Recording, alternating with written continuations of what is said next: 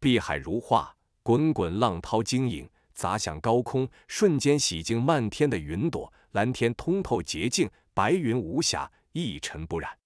东海一座岛屿上，落英缤纷，这里宛若世外桃源。放眼望去，成片的桃树上花骨朵鲜嫩欲滴，也有盛开的花瓣带着流霞，随风零落，片片都在发光，馨香弥漫。阡陌旧痕依旧在，老井掩在桃林中。上古远去，地球进化之路曾中断。昔日的神岛被云雾深锁，见沉寂，近年来才再现。有海兽登岸，有异禽落足。近日，一群神子圣女在东海寻找进化圣地，最终发现这座岛屿，在此落足。这里将有一场盛会，来自不同星系的生灵，有虫族的，有天神后裔，更有九幽族等。一大群天纵奇才正从各座名山赶来，在此聚首。现在已经出现不少人，让这座岛屿多了几许繁荣，不再沉寂。绿草如茵，不少进化者席地坐在桃林中，许多数千年的老桃树抽芽，满树花朵喷薄粉红霞光，景色唯美，宛若一幅瑰丽的画卷。琴声叮叮咚咚从桃林中传出，非常的悦耳动听，让人们的心都为之宁静下来，非常放松。桃林中，古代遗留下的石桌与长案等不算少，许多人盘坐在这里，正在饮酒赏桃花，十分的悠然自得。这些人都气质出众，有的为铜皮巨人，跟一座小山似的，弥漫出淡金色的磅礴血气，一看就是恐怖强者。有神子背负雪白羽翼，周身笼罩神光，像是一轮小太阳，出尘而圣洁。容貌超过很多女子，手持玉杯品尝美酒。有神女眉目如画，顾盼生姿，红唇鲜艳性感，在这里浅笑间，风采动人心惊。在那一株数千年的老桃树下，一个年轻男子正在抚琴。他空灵出尘，俊秀的面庞从容而优雅。他的手指轻划过那张古琴，琴音竟能为人们展现出画卷的美感。听着这种音律，让人悠然出神，可以忘忧。机灵神子琴艺越发的精湛，静静聆听，像是一股清泉淌进心田，体会到一种出世的美。有进化者赞叹：无不通音律，但现在却也心态平和，没有了平日的躁动，寂静乎道。那个铜皮巨人点头，血气雄浑，震得成片的桃花簌簌坠落，流光溢彩。瞬息间，琴音活泼灵动起来，叮咚悦耳。接着，一些鸟雀被吸引而来，翩翩起舞，在这里盘旋不去。这种景象让人惊讶与动容。不愧是天音神教的机灵兄，随意一曲就让百鸟来朝，旋而又旋。再这样去，就可助我等悟道了。一头暗金色的狐狸口吐人言，在那里感叹：“的确，乐声美妙。”让人沉浸不能自拔。机灵神子考虑入赘我族哦。一个非常妖冶、穿着明纱的艳丽女子对抚琴的机灵妩媚的笑着。各位谬赞了，这只能算是小道。我这微末道行也只能在这里博大家一笑。机灵说道，笑了笑，已经停止抚琴。一刹那，鸟雀四飞，全都远去。众人恭维说他太谦逊了。谁不知道天音神教的乐声举世瞩目，有多部圣级作品作为底蕴，一旦演奏，能让人静心悟道。说起来，最近发生了太多的事，你们听闻了吗？归一教的神子周海构建出一种黑漩涡能量体，十分可怕。这才刚一问世，就冲上能量体黑马榜前二百强内，震撼人心。有人叹道。那个眉目如画的神女蓝诗顾盼生姿，此时点头，红唇微张间十分性感，道：“据悉，那种黑漩涡能量体绞杀力惊人，按照评估，其排名还能提升一大截。”众人动容，对蓝师的话认可。嗯，最近那个楚风不也是成就出一种能量体吗？也进了黑马榜，跟周海神子的黑漩涡能连体排名相仿。当提及楚风这个名字。顿时有点冷场，因为在这里有一些人曾去围猎他，发生过冲突。周海的兄长周胜会来这里，说不定有意外惊喜。周海也可能已经踏足这颗星球，或许会跟来。有人猜测，若是这样的话，真希望那个楚风也能来。若是跟周海遇上，那就热闹了，看一看孰弱孰强。这时，一阵骚动传来，岛屿外围不少人向一个方向涌去，像是有什么了不起的大人物赶到。神子伏荒来了。果然，随着这样一声喊，就是桃园林中的一群身份不凡的进化强者也都坐不住了，纷纷起身。伏荒，一位实力不可揣度的神子，掌握天神屠魔录这种呼吸法，跟前十大星辰世界有关，威名极大。最近都在传言，他将这门呼吸法练到一定层次，想要寻找一批值得他出手的强大对手，围攻他，用以磨砺己身。浮荒被雾霭笼罩，口鼻间有龙柱般的气流涌动，才一登岛就被人围上，如同众星捧月盘。毫无疑问，他很强，有赫赫威名。岛屿上顿时一阵嘈杂，浮荒进岛，如同众星捧月般被拥簇在中心。不过，他也只算是头面人物之一。不久后，碧波浩荡。一剑横空，劈开水波，一个女子凌空而来，背负煌煌剑光。大徐皇朝的徐亮来了，这再次引发一阵骚动。众人起身看向岛外，对这位大徐进化皇朝的天女很看重，不敢轻慢，因为她不仅是一位皇女，身后有强大的进化皇朝，还因为她的师门更为可怕，跟前十大有关。当然。他自身不用多说，实力恐怖。他不仅长得婀娜秀丽，剑道一通神，一剑在手，难逢对手。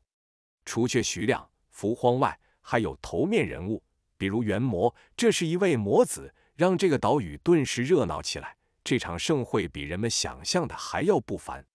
谁都没有想到，有一些圣子、神女来头极大，早先都不知道他们降临地球上，现在。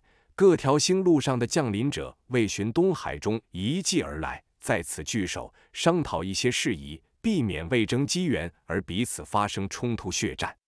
嗯，伏荒、徐亮、元魔这等人物都来了，我真有点希望那个楚风也出现。他不是张狂吗？又是卖圣子，又是抓圣女铺床，敢来这里的话，直接打死。楚风的敌人在激动，非常希冀他出现。想看到他被伏荒、徐亮、元魔这种人物狩猎，再次镇压。楚风在哪里？原本都出海了，但是他在光脑上接到一则星际通讯信息，果断返回陆地。有买家联系他，告知已经准备好绝世秘籍《天涯咫尺》，可以成交了。楚风闻讯，一路冲向龙虎山。在别的地方他不放心，唯有这里外人不敢进来。不用担心被打扰。最近这几天，白灵的父母心焦如焚，坐不安，还真怕白灵在楚风手里遭遇不测。因为这主太彪悍。这两天，他们时刻在关注，看到黄金猛犸象坐在轮椅上，血泪控诉楚风盗走他三条腿；又看到昆阳哭到昏厥，一对羊腰腰子被楚风盗走；最后，黑虎圣子整个人都被偷走。这简直就是一部恐怖大片，他们真担心身体虚弱的楚风会将白灵也给吃掉。当然，还有一种隐忧，他们的女儿非常漂亮，银发齐腰，肤白如雪，貌美动人。万一楚风不讲究，那将是一部灾难片。回到龙虎山，来到一条星路前，楚风跟买家沟通：“大兄弟，你是在质疑我的人品？放心。”货真价实，根本不需要验货。不行，白灵圣女呢？我想要看一看。”买家说道。楚风从空间瓶子中将白灵抓了出来，那可真是一点也不怜香惜玉，直接拎着一条金属链子就要捆起来，道：“你看，脸没花，骨头也没断，身条很挺。我楚某人卖货，质量保证。嗯，我帮你绑结实点，邮寄过去后，保证跑不了。”宇宙深处，白灵的父母看着他在那里跟捆猪一样，将白灵绑成一个大粽子，顿时心疼无比，很想拍死楚风。同时，他们也在后悔，不该多嘴。款到立刻交货，赶紧吧，让通天快递公司开启虫洞，将那本秘籍送过来。你先发货，叫人送过来。白灵的母亲说道：“开什么玩笑！”邮寄活物最耗时间，向宇宙深处送大活人一般都得一年半载以上。等你们验收，我得等上多长时间？先邮寄秘籍，这东西是死物，当日即到。楚风还是下了一番功夫的了解到这些。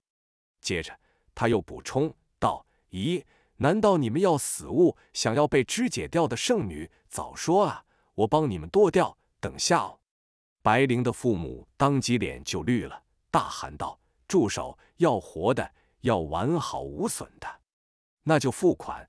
这是在元寿平台进行的交易，你们还担心什么？有平台做保证，哪怕我违约不发货，他们也会赔偿你们的。”白灵的父母心惊肉跳，道：“不要赔偿，只要这个圣女。”楚风暴坐标位置：地球龙虎山。结果不久后。星路尽头，这里出现一个虫洞，很小，有一个小盒子浮现，从星空的彼岸横渡过来，还真是了不起！不仅能当天到达，还是及时的。楚风欣喜，这是一个金属盒子，异常坚硬。开启后，里面是一本枯黄的书，看样子年头相当的久远。是真的吗？楚风怀疑。白灵的父母大怒，付出极其沉重代价。这才求购到秘籍，却被人这样怀疑。楚风笑道：“别生气，我不就是顺口问一问吗？再说你也不亏呀。这本天涯咫尺，你看过后，完全能作为你们那一族的镇教秘典。你懂什么？我们付出的代价更大，不然谁会交换？而且被逼立下誓言，此秘籍不得广为扩散，不然会被灭口。这么严重？”楚风诧异：“自然。”谁敢质疑圣人的话语与威严？圣人不容置疑。我不是没事骂君陀吗？经常性的。楚风说道。白灵的父母顿时无语，想到楚风张口就骂君陀为老乌龟、老王八，却还能活蹦乱跳，这还真是没天理。随你去折腾。最终，这两人也只能如此愤愤不平的说道：“嗯，我先参悟下。”楚风翻开枯黄的纸张，上面有图，也后文字，但是他一个字都不认识。我不认识上面的字。楚风很诚实的说道。白灵的父母真要喷血了，难道还要教他文字？最后他们捏着鼻子告知道：“光脑可以帮你识别，那是宇宙通用文字。”嗯，不错。接下来，楚风开始参悟，无比投入，废寝忘食。白灵的父母急了，真不想再耽搁了，催促他发货。年轻人就是没定性，缺少静气，急什么？楚风回应道，而后这才施施然的在光脑上联系通天虫洞公司。通天快递，我在地球龙虎山有邮件要寄出去，速来上门揽件。我们是虫洞公司，负责贯穿宇宙空间，没有上门揽件这项业务。一个智能机器的声音回应道：“不就是快递公司吗？怎么没有这些业务？”楚风质疑。白灵的父母崩溃，赶紧指点道：“你别问那么多了，赶快在光脑上下单。一会儿他们会依据坐标开辟出一条可以远距离传送生命的通道。你选择最昂贵的那个，这样我们最快就可以在半个月内接到白灵，而不用等半年以上。”凭什么选最贵的？我看看，先研究下。”楚风说道，然后就在页面上摆弄。他倒吸冷气，在宇宙中邮寄东西真是贵的吓死人，换算成一果的话，得好多筐。坑爹啊！这么贵！楚风果断选了最便宜的那项。随后他发现还可以到付，也就是让收件人去付钱，所以他再次进行了无比正确的选择。然后他果断下单。当看到一个虫洞在星路上浮现，楚风直接将白灵扔了进去，让这位圣女七晕八素，直翻白眼。你慢点！白灵的母亲很心疼。接着虫洞消失，白灵的父亲见他这么快就完成了，心中不安。随后，他的光脑上接到信息，了解到这一单的详情。尼玛，最便宜的虫洞，而且是到付！小子，你敢？怎么这样选择？你要气死我了！白灵的父亲气急败坏。楚风安慰道：“急什么？我帮你选的是最便宜的，花不了几个钱，你得谢谢我。我去你大爷的！我用你省钱吗？”我要最昂贵的，哪怕我自己出资都完全没问题。楚风撇嘴道：“你太贱了，真是好心没好报。”楚风转身给他一个后脑勺，直接不搭理他了，去研究天涯咫尺。你才贱，从头坏到脚的小兔崽子！你别踏上星空，不然老子非去请一帮雇佣军，天天追杀你不可。敢绑架我的女儿白灵，反正白灵进入虫洞了。他父亲也是豁出去了，将心里的火气都发泄了出来。哎呦，原来是老白啊！早知道是你，我说什么也要再加价。楚风的话语气得白灵的父亲更窝火了，他果断结束通话。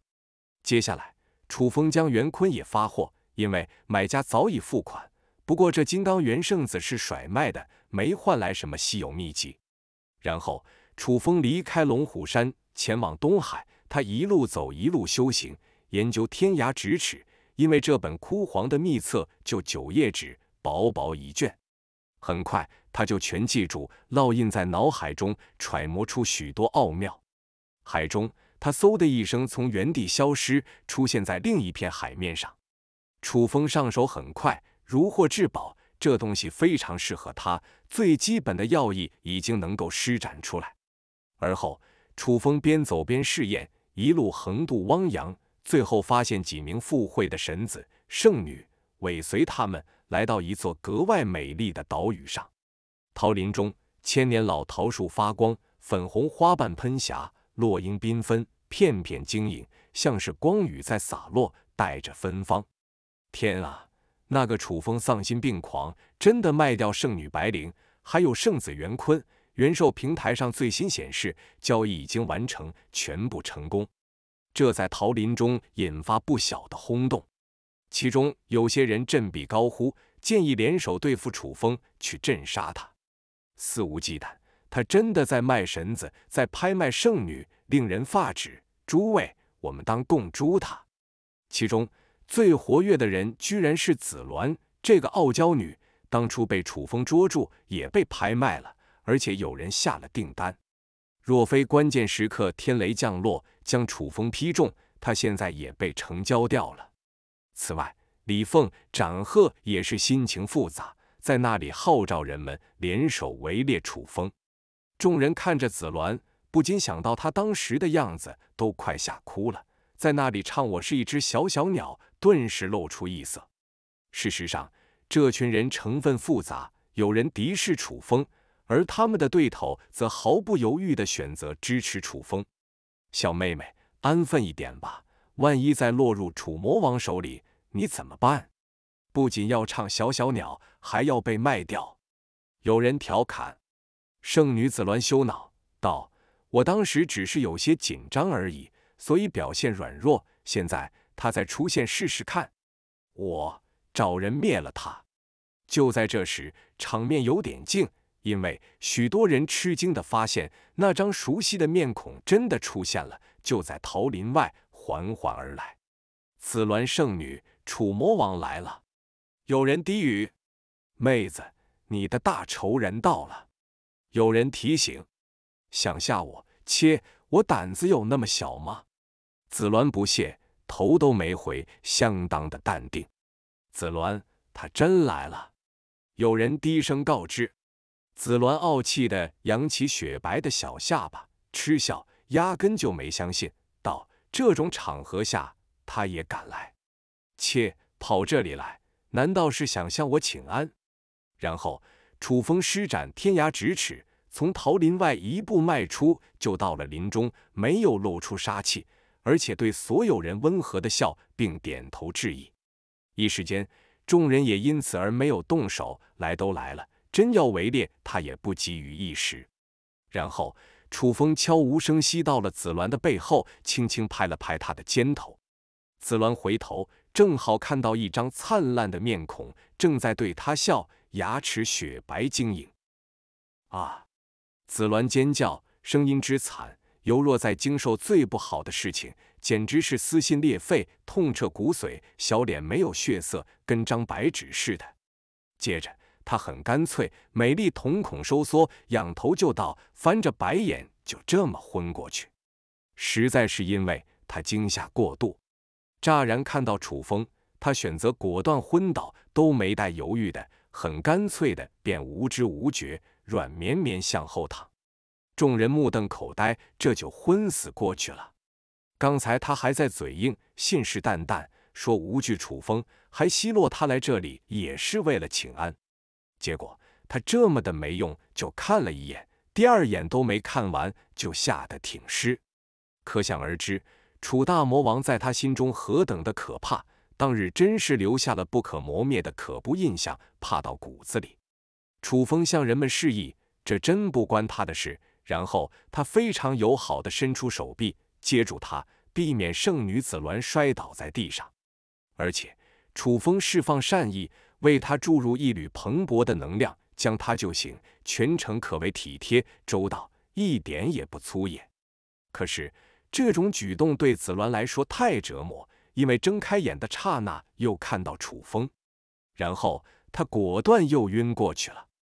楚风也无语了，再次好心注入能量，刺激他醒来。啊！救命啊！紫鸾睁眼就大叫。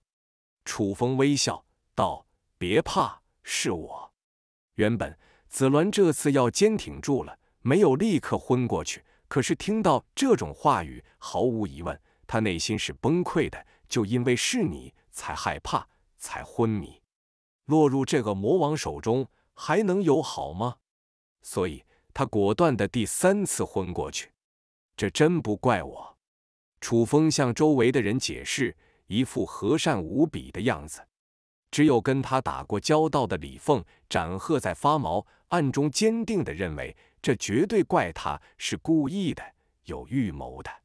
终于，紫鸾再次苏醒，发现自己正躺在绿荫地上，半空中晶莹花瓣飞舞，一片又一片，特别美丽。可是回头的刹那，他感觉整片世界有灰暗了，因为他看到那个大魔头就在他的身边席地而坐，占据原本属于他的玉石桌。两者离得太近。他都能感受到楚风的呼吸，他正在悠然自饮。紫鸾无论如何也没有想到，拍他肩头的人真是楚魔王，而今坐在他身边，还这么的亲近温和的样子。我俩真有缘，又见面了。楚风微笑：“有缘个灰喜鹊。”紫鸾很想翻白眼，傲气的摆大小姐脾气：“谁跟你有缘？思想有多远，你给我消失多远。”但是。他不敢。楚风精神奕奕，一副谦谦君子的样子。可是紫鸾衣却在打冷战，看到他这么和蔼，笑容带着暖意，他却越发的发毛。当日这个大魔王凶狂的一塌糊涂，吃掉烈山朱武雀，打死宇文峰、陈荣、齐羽，简直是不可战胜的怪物。他现在还觉得后背发寒，好不容易才逃出魔手，今天怎么又落在他手里？紫鸾愤懑，内心忐忑不安。好了，土著中的天选之子，该收手时还是收手吧。一个铜皮巨人开口，跟一座小山似的坐在那里，体内血气宛若岩浆滚滚。铜皮巨人冲着紫鸾开口道：“圣女，来我这边。”楚风没搭理铜皮巨人，坐在玉石桌后，只瞥了紫鸾一眼，便自斟自饮。紫鸾希冀而又忐忑，希望铜皮巨人能压制楚风，可是没结果前，他真不敢过去，怕刚一动身就被楚风一巴掌拍死。其实他多想了，楚风即便出手，也是生擒活捉，怎么可能让他去死？因为要换秘籍呢。哼！铜皮巨人咧嘴，露出一尺多长的雪白獠牙，并迅猛地伸出大手，带着狂风飞沙走石，向楚风那里一把抓去。他坐着就动手了，都没有起身，相当的傲慢与随意。楚风能感觉到，这个铜皮巨人不简单。皮肤蒸腾出的血气，如同烧红的铁水，将周围的桃树、青石都毁掉了。巨人爆发出十分恐怖的威势，比朱武雀、宇文峰、展鹤等人都要强一截，是个厉害人物。楚风也没有起身，抬手就迎了上去。当的一声巨震，如同金石交击，铜皮巨人的大手发出刺目的光芒，像是一片闪电绽放。铜皮巨人瞳孔收缩，感觉到钻心的疼，道：“难怪敢只身前来。”事实上，他心头悸动，他的那条手臂很痛，内部被一股螺旋劲撕裂，已经受伤。再来对攻的话，伤势就藏不住了，整条手臂会裂开。楚风对他笑了笑，牙齿白生生，而后猛然一拳向前挥去。被动不是他的风格，既然赶来这里，就不是为了受气。他有底气。铜皮巨人一声咆哮，霍地站起，瞬息间全身金光大盛，祖先血脉复苏。他化成庞然大物，宛若黄金铸成，通体璀璨。周围数千年的老桃树连根拔起，连带着数万斤的青石等，也被他的金色血气激荡起来，悬在半空中。此时的他。神力足以拔山，巨人金色眸子开合间，神芒毕露，拳印足有磨盘那么大，迎击楚风砸了过去。这一刻，虚空都扭曲了，周围的光芒都被这只金色的拳头吞噬，能量浓缩，气息摄人。这一拳挥出，很轻易就能粉碎一座大山。然而，噗的一声。这样霸气的金色拳头直接被楚风的拳印戳破，跟漏气般暗淡下去，血液四溅。巨人痛苦倒退，整条手臂上都是裂痕，被一股螺旋劲差点绞断整条右臂。他踉跄着，血液汩汩而涌。拥有祖血的巨人轻易就可以拔山，血气滚滚，同辈中罕有能与他较力者。结果被人一拳就差点崩断一条手臂，让他对楚风异常忌惮，心有惧意。四周不少神子圣女都面色冷冽，敌意甚浓，盯着楚风。见他只身一人来这里，早已经计划猎杀。一刹那，这里温度骤降，简直像是被冰封，连鲜嫩欲滴的花骨朵都在凋零，分舞而下，如同花雨。好了，远来是客。都坐下吧。这时，一个男子开口，被雾霭笼罩，有些模糊，但是许多人都敬畏。他就是伏荒，掌握天神屠魔录呼吸法，这是从究极呼吸法、天神呼吸法变异而来，强大无匹。他的话语一出，气氛顿时不再那么紧张，各路神子、圣女都很给面子。在浮荒体外的白雾中，竟有几丝混沌气，宛若深渊吞吐天地能量，非常恐怖。楚风知道，这是头面人物之一，的确深不可测。目前以实力而论，远超其他人，是一个异常危险的人物。楚风感应到对方溢出的能量有古怪，疑似掌握有非常惊人的能量体构建方式，在其口鼻间，在那白雾内有隐去的细密符号。不管对方气度过人还是自信无敌，什么都不在乎。最起码现在没对他动手。楚风笑着举杯，对浮荒示意，而后自饮。这时紫鸾起身，真没脸再躺下去了。现在在装晕不现实，身为圣女，哪里能昏厥那么长时间？楚风脸上堆笑，十分热忱，道：“来，坐我这边。刚才吓到没有？其实……”别将我想的那么坏，我这人最善良。这样跟你说吧，现在谁敢打你主意，我保证打不死他。紫鸾打了个寒战，这个魔头居然在对他嘘寒问暖，这么的热情，让他简直受不了。不过仔细回味了一番，他又颇有些自傲。大魔头又怎样？如今还不是对他和颜悦色，对他献殷勤。显然，紫鸾的傲娇病又犯了，将楚风视作那些追求者。他扭着小蛮腰，哼了一声，坐在旁边，撇嘴道：“你赶紧放我走吧，有些事你不知道内情。看你态度不错，我可以告诉你，我父亲是……算了，不说。我哥是子霄混元宫的一代奇才，从未败过。这么说来，我卖你的时候还能再提价。”楚风双目炽盛，越发的热情。道：“来，慢慢讲，别害怕。”圣女子鸾一刹那间汗毛倒竖，所有的傲娇与自信都消失了。原来这个大魔头对她好，只是为了卖出去，确保成交时无问题。她简直要哭了，一半是吓的，一半是气的。楚风安抚完子鸾，将目光投向其他进化者，其中有几人引起他格外注意。除却伏荒外。还有一个名为徐亮的女人，以及一个名为元魔的人，都令他认真观察、仔细凝视。此外，还有一个叫兰诗的女人，眉目如画，国色天香，宛若从画卷中走出，极其美丽。楚风关注她，不仅是因为她貌美，还因为她的精神力有些惊人，隐约间透出丝丝缕缕，宛若实质，异常强盛。此外，机灵的精神力也很强，如同一轮小太阳，仅稍微逊色于蓝狮。这时，紫鸾看到他关注蓝狮，顿时来了精神，道：“楚魔头，你放我走好不好？我给你推荐一个人选，真要能将他捉到，一旦你放出风声，想买他的人可以从星空这一端排到彼岸去。”楚风闻言露出亚色，道：“这么离谱？”嗯因为他是仙月净土的弟子，才一出道就有了极高的人气，号称拥有天籁般的嗓音。他所唱的圣歌非同小可，能提升人的精神力。现在他在星空中已经有不小的名气，深受一些年轻人喜爱。紫鸾陆底告知情况：宇宙中有些进化圣地专门研究音波。与精神相合，踏出与众不同的路，走到极致，言出即法。例如，许多咒语、神言等，就是他们这一系的前贤开创的。可以说，这个领域的人十分恐怖。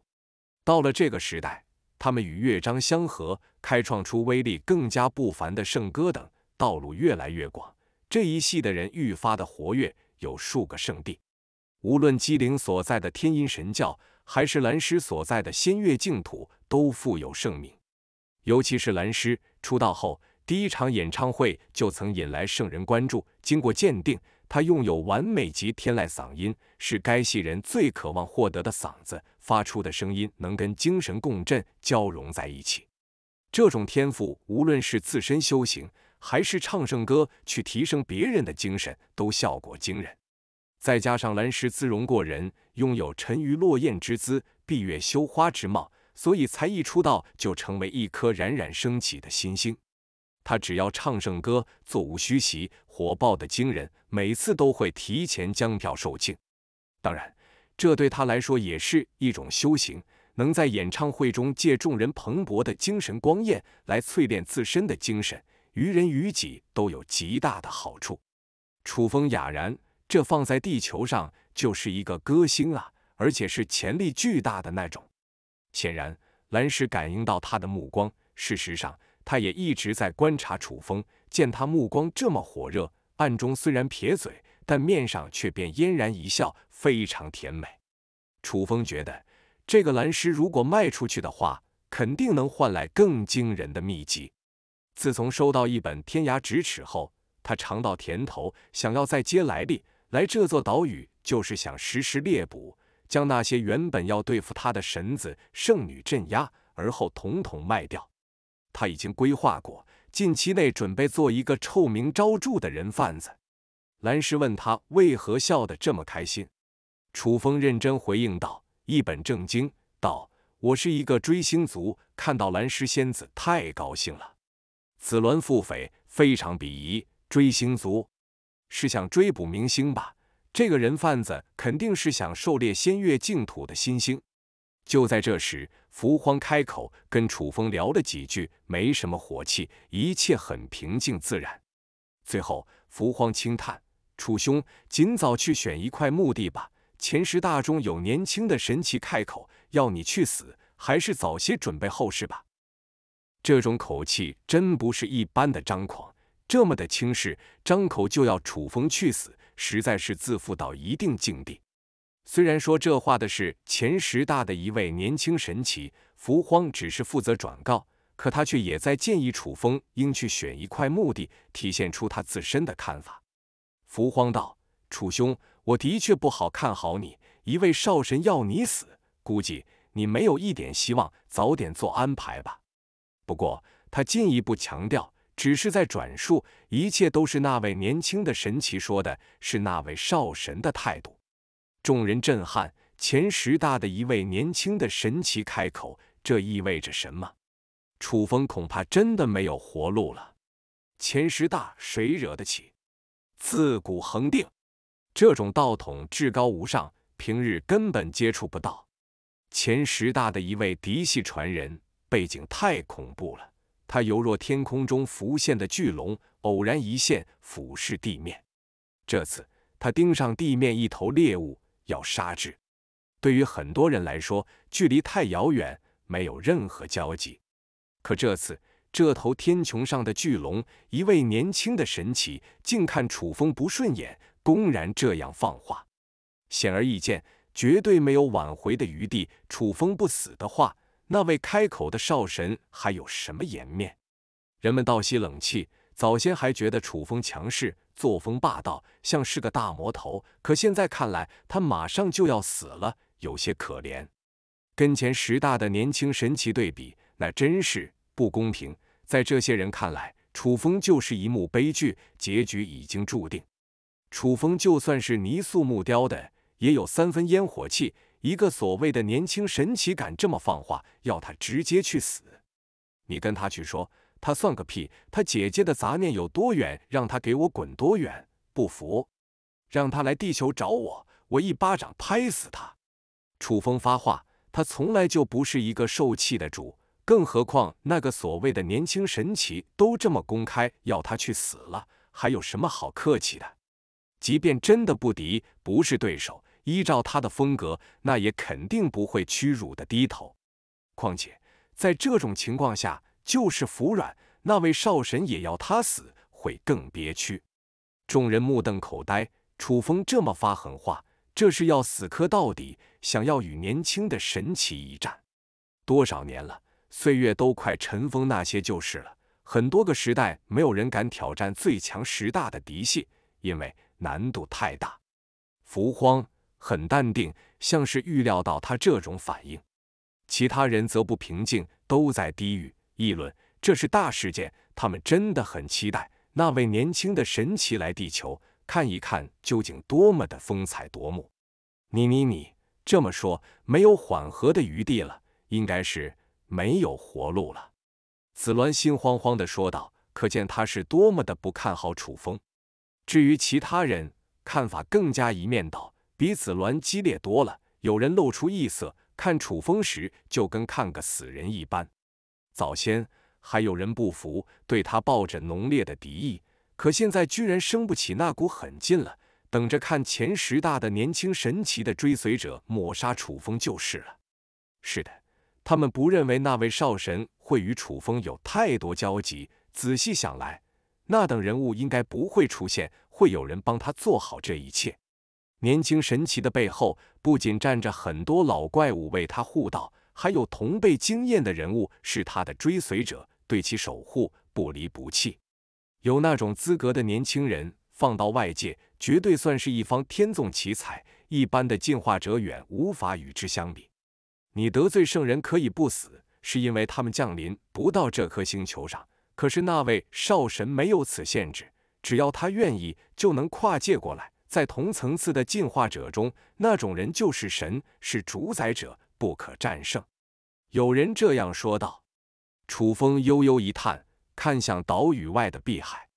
一些人露出异色，认为他觉察到事态的严重性。可惜，你想低头都不行，晚了。那位年轻的神奇大人说出的话，不可能再收回。有人奚落道。楚风再次轻叹，并开口。道：“前十大的嫡系传人，我要杀几个才能让他们老实？”一瞬间，许多人石化。他在那里叹气，不是担忧，而是在想其他事。当年又不是没人杀的，他们低头认输，我为何做不到？楚风开口反问，一副很平常的样子。这么大的事，他压根就没往心里去。人们全都一脸诡异之色，他的心得多大呀？刹那间，人们想到一个名字：夭夭。前段时间，夭夭成仙这个金色账号在元兽平台上被重新激活，揭开昔日旧事的一些面纱，着实引发巨大轰动。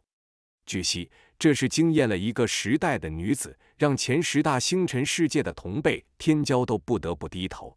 她傲视星空，璀璨光辉，压盖所有对手。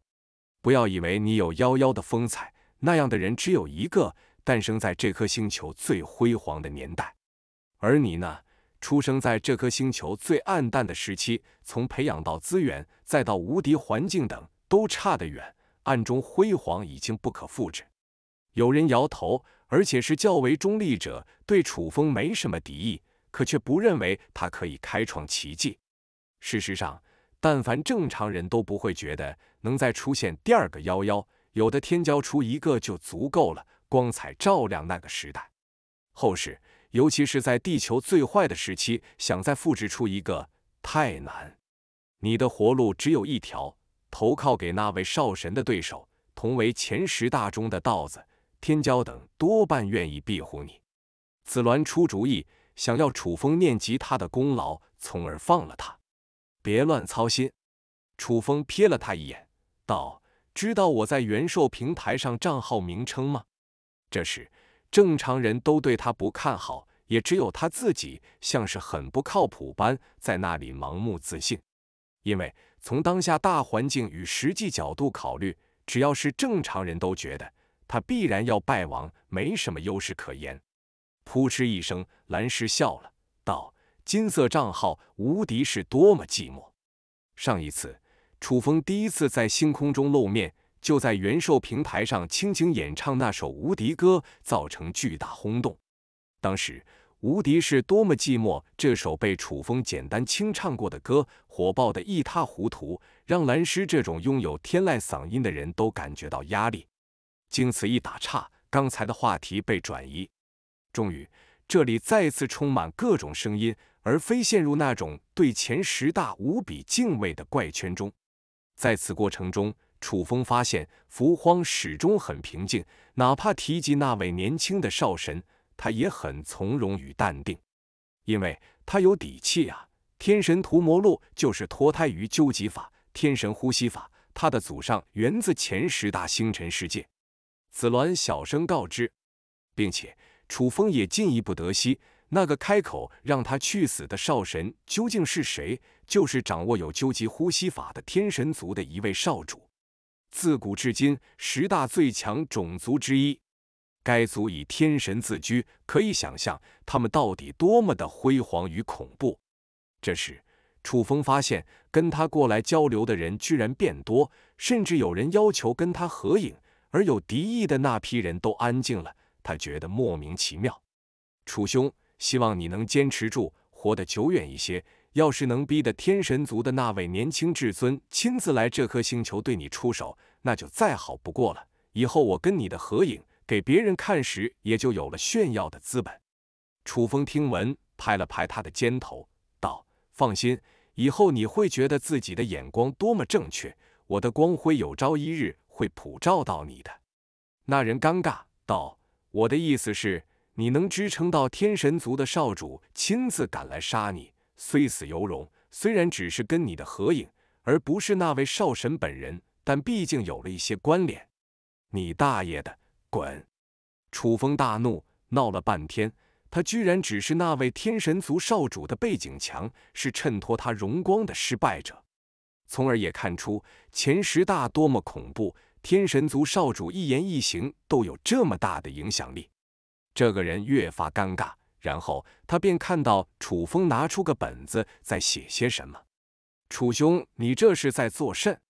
记下你的名字，回头找机会把你卖掉。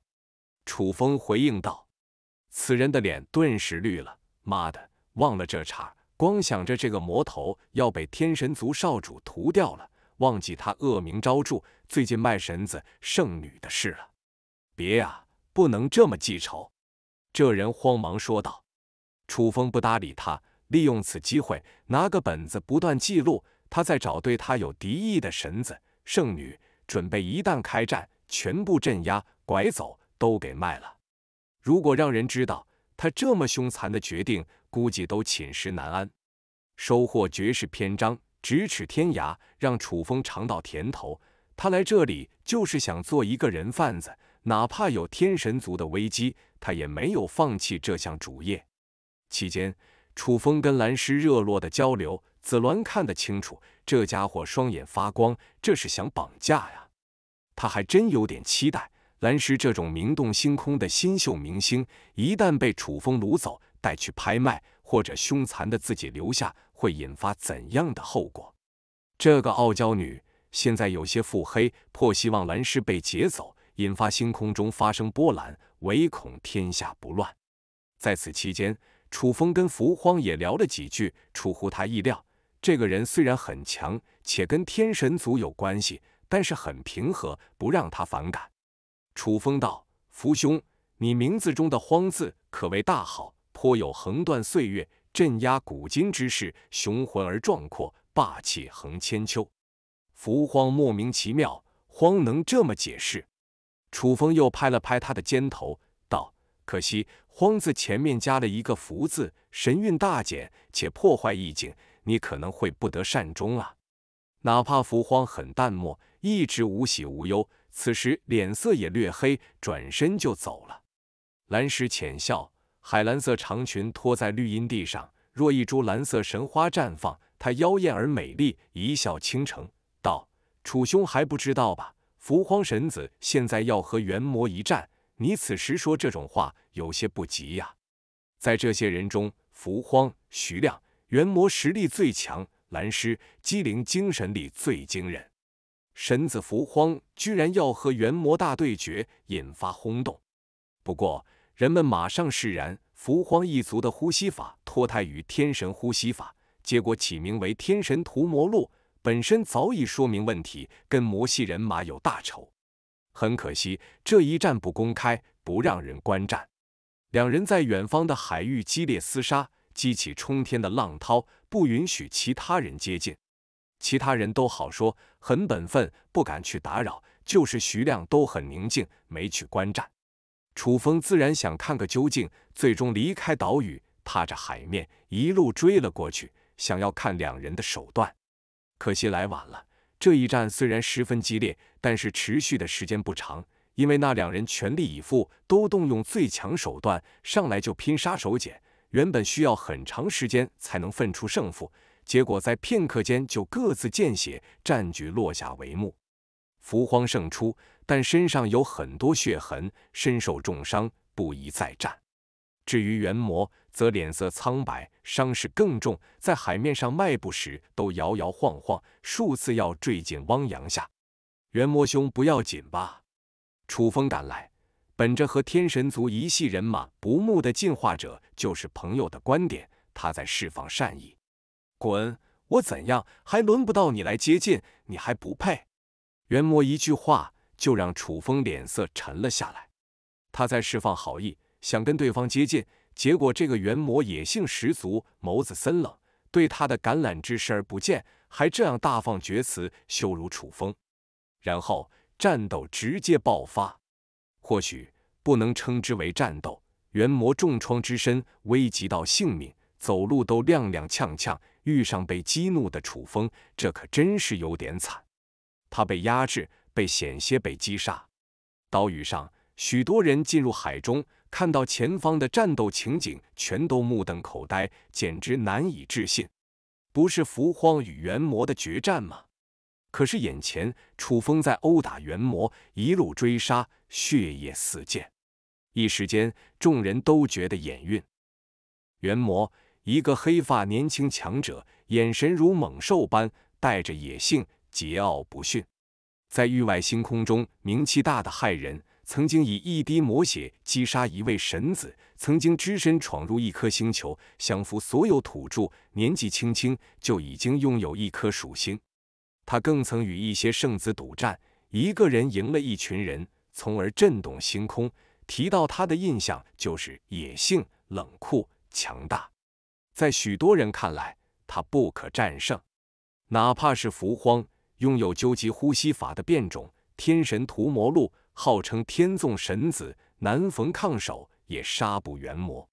这两人切磋数次，不过伯仲间。然而眼下人们看到了什么？元魔好惨，在被人揍。没错，这已经不是战斗，而是单方面的殴打。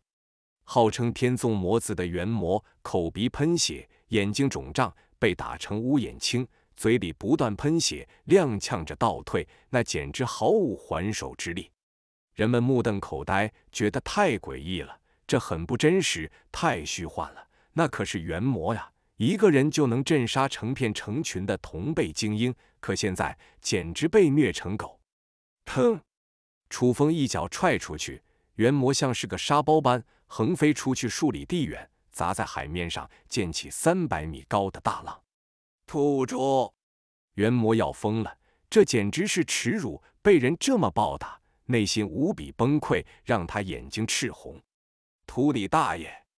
楚风暴喝，一个纵身就是数里的远，从空中俯冲，一拳砸向海面。轰！海水在沉陷，方圆数里内海面白茫茫，向下挤压，接着焚烧，轰然一声炸开，简直要将海底暴露出了。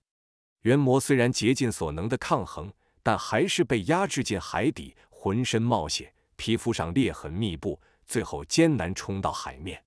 他遭受重击，接连吐了十几口血，眼睛凶狠道：“你敢辱我？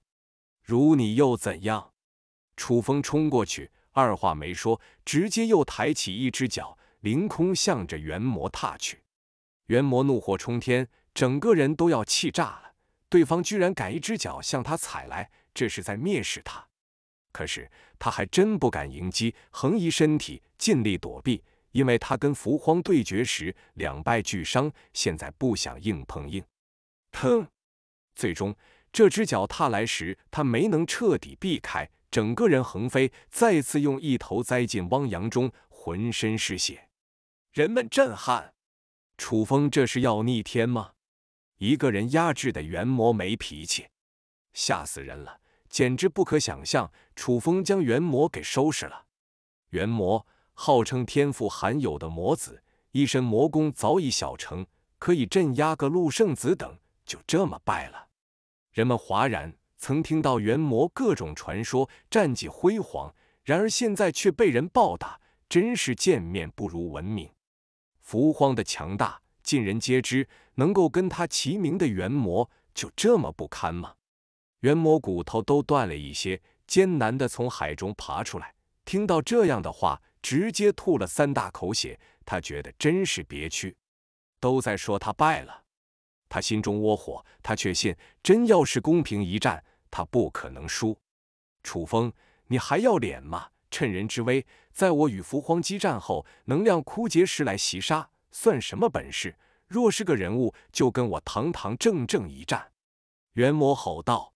他真急了，再这么下去就要被活活打死了。那个土著就是抱着这种目的，在惨无人道的收拾他。人们恍然，瞬间明白怎么回事，长出一口气，不然真被吓得不轻。那可是元魔呀，再被殴打，你废话真多，败了就是败了，被我抽嘴巴就是抽嘴巴。这就是现实，找什么理由？楚风说道。他一副酷酷的样子，在那里装深沉。元魔又一次吐血，这个土著在拿他刷战绩呢，明显是故意的贬低他，而抬升自己。他跟伏荒一战后踉踉跄跄，被这个土著疯狂袭击，哪能是对手？跟全盛时相比，差太多了。你真是该死啊！元魔嘴角一血。眼神森冷，你才该死！楚风一副恼怒的样子，现在居然比元魔火气还大，又俯冲了过去，追逐元魔殴打，让他头破血流，胸骨断了数根，最后像是个破布口袋般飞上天，又坠落进海里。不久前，楚风跟元魔打招呼，释放善意，结果却被羞辱，让他滚，说他没资格接近。而现在变化惊人，看到元魔不顾一切的逃亡，想要离开这里，楚风一声断喝道：“我打断你的狗腿！”而后他就这么做了，俯冲进海中，双手抱着一根如同水桶粗的黄铜柱子，锁龙桩，对着元魔就砸。砰砰砰！楚风下了死手。这一刻，元魔惨叫。哪怕他很英雄了得，现在也想诅咒与大骂这个野蛮的土著。元魔不仅两条腿被打折了，就是肋骨、手臂等也都软绵绵，遭遇重创，全都骨断筋折，真是打断了狗腿呀！元魔好惨，双腿都被打断了，整个人想逃都逃不了。这个楚魔王真是凶残啊！一群人惊叹、震撼。你们也不仔细想想，一个叫元魔，一个叫楚魔王，后者明显魔中的头子。元魔遇上他，肯定要倒大霉。有人强行解释，元魔简直要疯了。想他只身一人，曾经狩猎比目前的地球要强很多的生命星球，猎杀那里成片的观想境界的生灵，最终收获一颗属星，成就一段神话。他一路高歌，面对其他神子、圣女等，只要他想动手，肯定可以擒杀。有生以来还没有这么惨过。这次自斩道恒跨界进入地球，想要寻到某一片遗迹中的原始真魔秘解，结果出师未捷，自身便要被一个土著打爆了。啊！他大叫着：“鬼叫什么？再叫的话，将你立刻卖掉！”楚风恫吓。最终的结果是，楚风拎着重伤的元魔回到桃花林中，这可真是凶猛的一塌糊涂。堂堂魔子就这样遭劫。桃林中落英缤纷，元魔披头散发，被楚风扔在一棵桃树下，他自己去饮酒。这一刻，人们看向他时，眼神全都变了。这也太凶残了，将元魔都给折腾成这个样子，还真是恐怖。子鸾。原本美滋滋，因为他跟伏荒搭上关系。他的兄长子霄身为混元宫的奇才，跟伏荒有过几面之缘。伏荒已经答应帮他，不会再让他受欺压，为他出头。子鸾刚才没去观战，还不知道情况，直到现在看到楚风这般归来，将元魔都给收拾了，他顿时蔫了。然后他就老老实实离开伏荒，向楚风那里走去。不用担心，我跟他说一声。伏荒开口：“不用了，元魔都那么惨了，肯定要被卖掉。伏荒大哥，你就别陷进来了。万一被他找到借口，将你也抓住，然后去卖掉，我心里会内疚。”紫鸾的一番话让伏荒发呆，他就这么不堪吗？真是岂有此理！不过在看到元魔现在的处境后，伏荒还是果断闭嘴了。先养好伤吧。万一阴沟里翻船，他那还真是有些惨。岛上一片轰动，刚才没有去观战的人都被惊得不轻。看到元魔的下场，许多人心中打鼓，非常不安。楚风，你要是个男人，就放我走，等我养好伤，我们公平一战。元魔在那里咬牙说道：“都成阶下囚了，还这么不识好歹的顶撞我，就是欠打。”楚风说完。噼里啪啦一顿胖揍，按着元魔使劲殴打。一群人石化都说士可杀不可辱，可楚风这是欺辱你没商量，管你元魔还是谁，先打一顿没商量。楚风，你这样对我，会为你自己以及你身后的这颗星球惹来大祸。你知道我是谁吗？我这样的魔子被辱，那群魔不会放过你。元魔说道：“聒噪。”楚风甩了他一巴掌，而后直接登陆元兽平台，准备卖掉元魔。在他看来，这个脾气又臭又硬的家伙简直是一无是处。可这样杀了的话，有点可惜，不如卖调换秘籍，也算是有效利用。楚风抱怨道：“你说你一没什么姿色，二脾气这么臭，肯定卖不上什么好价钱。不久后，元寿平台轰动，楚风出现在上面放消息，说要卖一个很没用的俘虏。结果真相浮出水面，被卖的人居然是元魔，一个魔子，一位天纵奇才，年纪轻轻。已经独自攻克一颗低等星球，斩杀不少观想层次的生灵，将那里化为自己的属性。元魔虽然很年轻，但是名头已经非常响亮。老天在上，元魔被卖了，这也太惨了。我能说什么？这个楚魔王要逆天吗？楚风凭着经验知道，圣女好卖，神子的价格不是多高，不被追捧。所以他觉得元魔也不会多么值钱，哪里料到最终许多人询问价格几许。楚风兄弟，咱们商量一下，我不买元魔，但我可以送你一本关于彼岸花的能量体解析。我的要求只有一个，你当众殴打元魔，揍得他哭爹喊娘就行。楚风闻言有些发呆，还能这样？这元魔真遭人恨啊！居然有人这样要求，愿意用秘籍换唇暴揍他。楚兄，我也想这样。你打掉元魔满嘴的牙齿，我愿意送你一部御剑术秘籍。楚风果断点头，欣然同意。然后他仔细看留言，顿时笑了。元魔真是太招人恨了，有相当一部分人都留下类似的要求。元魔恼怒，羞愤，怒道。要是将你挂上去，你比我都不如，将人神共愤。